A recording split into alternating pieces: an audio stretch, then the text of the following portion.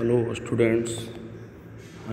Kumar I K V C R P F Mokama Ghat आज हम लोग economics का फ़र्स्ट चैप्टर डेवलपमेंट में हम लोग देखेंगे human development report human development report यानी मानव विकास रिपोर्ट किस तरह से तैयार किया जाता है और इसके क्या क्या मायने हैं इसके बारे में। तो इसके पहले हम लोग देखे थे कि डेवलपमेंट के लिए level of income the level of income के आधार पर, यानी जो आय के स्तर है, उसको इम्पोर्टेंस देते थे हम डेवलपमेंट के कंपेयर करने के लिए किसी भी कंट्री को या स्टेट को। लेकिन यहाँ पर क्या है? लेवल ऑफ़ डेवलपमेंट विकास के स्तर को मेजर करने के लिए हमें इन एडिक्यूट मेजर यानी कि एक तरह से अपर्याप्त है। में पूर्ण रूप से नहीं है। लेवल के पहले ही बताएँ कि सिर्फ़ खाली इनकम का लेवल देखकर हम किसी भी कंट्री या स्टेट को हम डेवलप नहीं कर सकते हैं। इसके साथ साथ और भी बहुत सारे चीज़ होते हैं, उनके अनुसार हम कंपेयर कर सकते हैं। ठीक है? तो डेवलपमेंट को मेजर करने के लिए एक लाया गया है U N D P U N D P यानी यूनाइटेड नेशन डेवलपमेंट प्रोग्राम, यानी संयुक्त राष्ट्र विकास कार्यक्रम। यूएनडीपी के थ्रू ही अदर स्टेट या कोई भी कंट्री हो, उसको कंपेयर किया जाता है किस आधार पर? तो वहाँ के जो लोगों के educational level of the people, यानी वहाँ के लोगों का एजुकेशनल लेवल कैसा है, शैक्षणिक स्तर किस टाइप का है अच्छा है या ख़राब है, उसको से भी कंपेयर किया जाता है और उन लोगों के हेल्थ स्टेटस यानी कि जो स्वास्थ्य की स्थिति उस देश में क्या है और पर कैपिटा इनकम यानी प्रति व्यक्ति आय के बेस पर हम ही ह्यूमन डेवलपमेंट रिपोर्ट माने मानव विकास रिपोर्ट को तैयार किया जाता है। कौन तैयार करता है? ह्यूमन डेवलपमेंट रिपोर्ट तो U N D P U N D P यानी यूनाइटेड नेशन डेवलपमेंट प्रोग्राम के द्वारा ही ह्यूमन डेवलपमेंट रिपोर्ट तैयार किया जाता है, जिसमें कि पीपल्स के एजुकेशनल लेवल, उस देश का, फिर वहाँ के लोगों के हेल्थ स्टेटस, फिर वहाँ के लोगों का पर कैपिटा इनकम किस तरह का है, कितना है, उसके आधार पर यू एन डी पी है जो कि ह्यूमन डेवलपमेंट रिपोर्ट तैयार करता है, मानव विकास रिपोर्ट ठीक है? इसके बारे में हम लोग जाने। तो यहाँ पर हम एक डाटा देखते हैं जो डेवलपमेंट रिपोर्ट है 2019 का। ठीक है?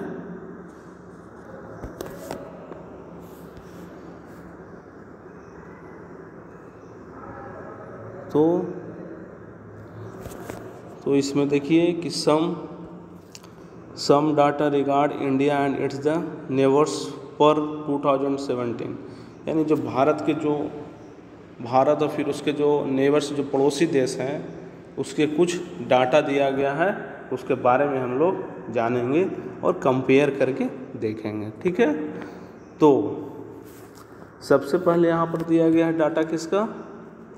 तो 2017 में पर कैपिटा इनकम या ग्रॉस नेशनल इनकम यानी सकल राष्ट्रीय उत्पाद होता है किसी भी देश का, उसमें पर कैपिटा 2011 के अनुसार कितना डॉलर है, उसके बारे में बताया गया है। तो इसमें देखिए, श्रीलंका का दिया गया है, फिर इंडिया का दिया गया है, फिर म्यांमार कंट्री पाकिस्तान, नेपाल, बांग्लादेश। तो इस सिक्स कंट्री का कंपेयर कर रहा है। भारत और उसके पड़ोसी देश हैं, सब श्रीलंका, म्यांमार, पाकिस्तान, नेपाल और बांग्लादेश। तो यहाँ पर पर कैपिटा इनकम के बारे में बात किया गया है, जो ग्रॉस नेशनल इनकम है, और फिर लाइफ एक्सपेक्टेंसी एट बर्थ यानी जो जन्म के समय, जो संभावित आयु है, उस देश का कितना है, उसके बारे में बताया गया है 2017 के डाटा से। और फिर mean year of the schooling of the people यानी स्कूल जाने वाले। यानी कि इसमें क्या लिटरेसी रेट के बारे में बात करा एवरेज निकाल दिया है इसमें। मीन माध्य जो होता है, विद्यालय औसत आयु, वो निकाला गया है कितना? 25 वर्ष के पीपुल्स या फिर उससे एभव के लोग का एवरेज आयु कितना है? Mean year of the schooling school जाने के लिए, यानी लिटरेसी रेट के बारे में बात कर रहा। कि वहाँ का शैक्षणिक दर कितना है? ठीक है?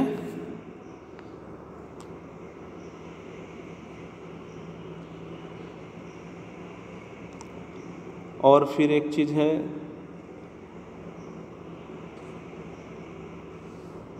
इसमें एच डी आई रैंक, यानी human development index. Human development index जो हुआ वो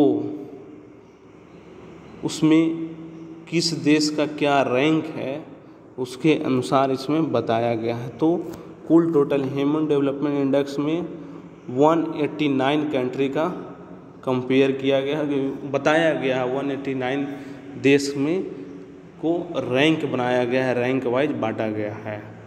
ठीक है? तो तो इसमें हम क्या देख रहे हैं?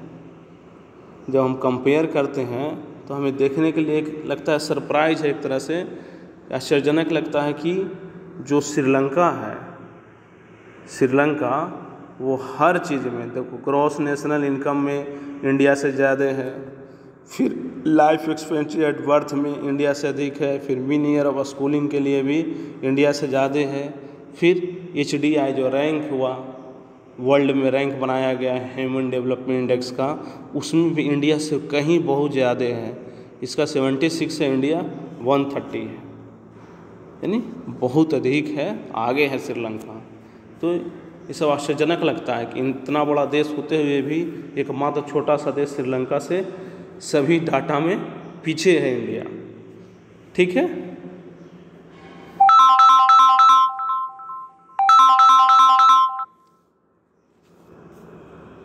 ठीक है? तो तो यहाँ पर हमें देखने के लिए क्या मिला? इसके बारे में हम लोग जानेंगे। ठीक है? तो यहाँ पर भी बताया गया है कि सरप्राइज़ है एक तरह से जो स्मॉल छोटा देश है जो इंडिया सभी चीज़ में आगे है। हर एक चीज़ में। तो यहाँ पर जो हमारे जैसे और भी बिग कंट्री हैं, बड़े देश हैं, उनका लो रैंक वर्ल्ड में लो रैंक है। ठीक है? तो टेबल वन पॉइंट सिक्स में जब हम देखते हैं तो देखिएगा कि नेपाल और जो बांग्लादेश है ये नेपाल और जो बांग्लादेश है, वो ज़्यादा पीछे नहीं है इंडिया से, उसी के आसपास में है। पर कैपिटा इनकम में अगर इंडिया से तुलना किया जाए तो उसी के आसपास में है थोड़ा सा कम है। ठीक है? तो तो ह्यूमन डेवलपमेंट इंडेक्स को इम्प्रूव करने के लिए इम्प्रूवमेंट के लिए इसमें बहुत सारे सजेशन को कैलकुलेट किया गया सजेशन लिया गया है। ठीक है? और और H D I human development index में और भी बहुत सारे न्यू कंपोनेंट्स यानी कि जो जो नए घटक चीज़, नया चीज़ उसको जोड़ा गया है न्यू कंपोनेंट्स को जोड़ा गया है। ह्यूमन डेवलपमेंट इंडेक्स में ऐड किए गए हैं, ठीक है? और एक चीज़ यहाँ हम देखते हैं कि यहाँ पर ह्यूमन डेवलपमेंट में जो भी, जो ह्यूमन डेवलपमेंट जो रिपोर्ट है, उसमें जो भी इम्पोर्टेंस है तो उसमें किसी खास कंट्री के लिए, कंट्री के सिटीजन, कोई भी देश का सिटीजन के लिए उसको इस रिपोर्ट में शामिल किया गया है कि वहाँ के लोगों के किस तरह से है। तो वहाँ के लोगों की हेल्थ फैसिलिटीज़ के बारे में, वहाँ के एजुकेशन अवेलेबल है कि नहीं है वहाँ, और वहाँ के लोगों को कल्याण के लिए वेल बीइंग के लिए सबसे अधिक ज़रूरी बताया गया है। ठीक है? इस तरह से मानव विकास रिपोर्ट है जो लोगों के हेल्थ स्टेटस देखता है कहीं भी देश के। वहाँ के पर कैपिटा इनकम के बारे में और फिर एजुकेशनल लेवल वहाँ के लोगों के एजुकेशनल लेवल क्या है, इसके बारे में भी हमें बताता है। कौन सा इंडेक्स तो मानव विकास रिपोर्ट ह्यूमन डेवलपमेंट रिपोर्ट या फिर इंडेक्स एच डी आई कहिए, वो हमें बताता है। उसी का रैंक दिया गया है एच डी आई रैंक है। ह्यूमन डेवलपमेंट इंडेक्स रैंक है पूरा वर्ल्ड का। तो इसमें देखिएगा ये कब का है? टू थाउज़ेंड एटीन का है। लेकिन टू थाउज़ेंड ट्वेंटी में इंडिया का रैंक थोड़ा सा इंक्रीज हुआ है। और ज़्यादा बढ़ गया है तो 131 हो गया है। 2020 में ह्यूमन डेवलपमेंट इंडेक्स में। ठीक है? 131 है 2020 में। 2020 में ये एक सौ इकतीसवां नंबर पर आ गए एच रैंक में इंडिया। ठीक है? ओके।